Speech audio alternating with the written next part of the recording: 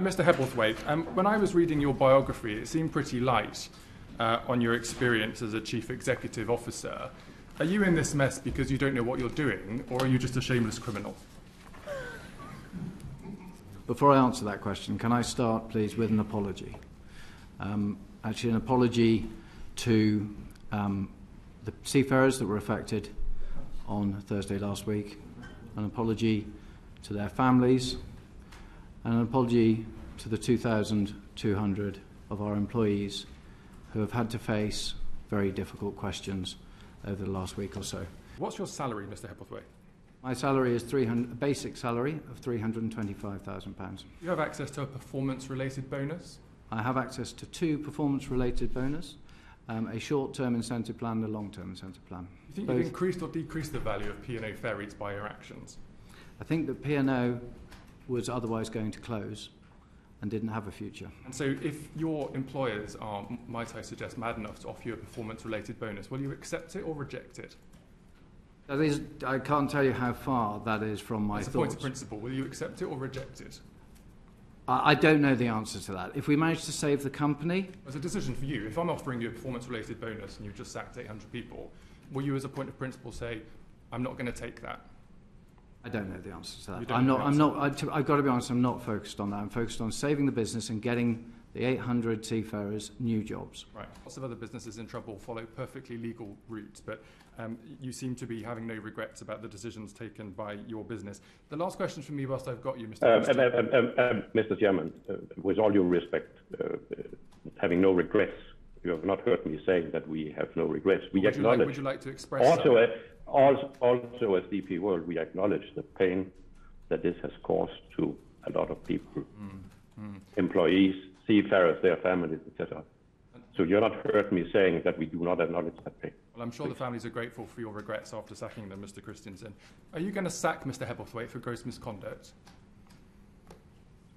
I couldn't imagine that we would do that. No. There's absolutely no doubt that we were required to consult with the unions. We chose not to do that because we You believe chose to break the law.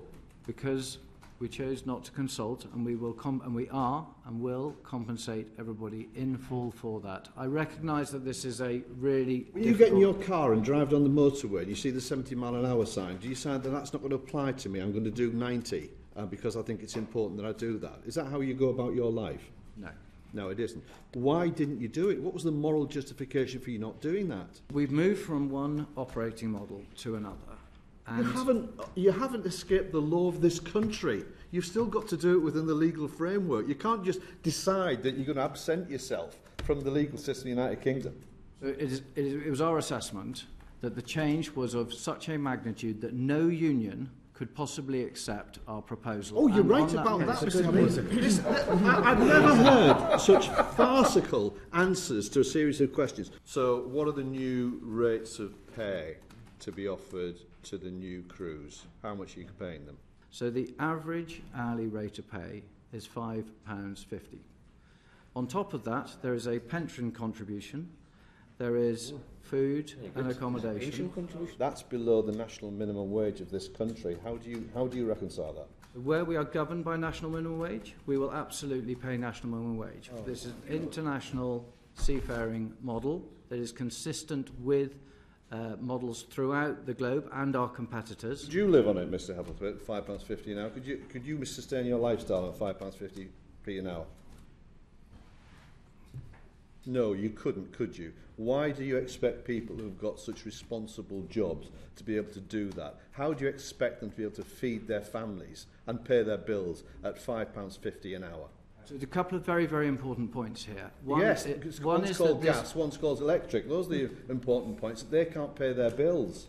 There's some NDAs here, Mr Hebblethwaite. Are you going to rescind those? Because, quite frankly, the members of this committee think this is absolute thuggery uh, and criminality. You're behaving like gangsters to blackmail people in this, into this situation. Will you withdraw those NDAs and let people have the freedoms that we all enjoy?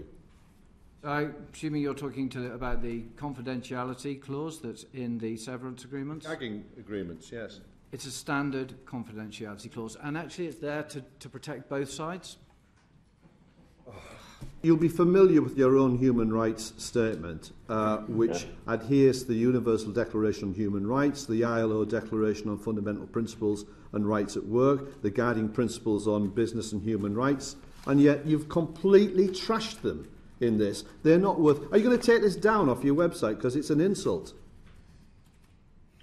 So I do not uh, believe that it's an insult, and I do not believe that any of what we have done, uh, uh, piano You need to ask the 800 people yeah, that is, in you've... is in conflict is in conflict with any of that. Of course, it's a direct conflict. I, I, you know, we hear some ridiculous things, but for you to say that those those principles still obtain when people have been summarily dismissed with no notice whatsoever and replaced by people on £5.50 an hour is an outrage.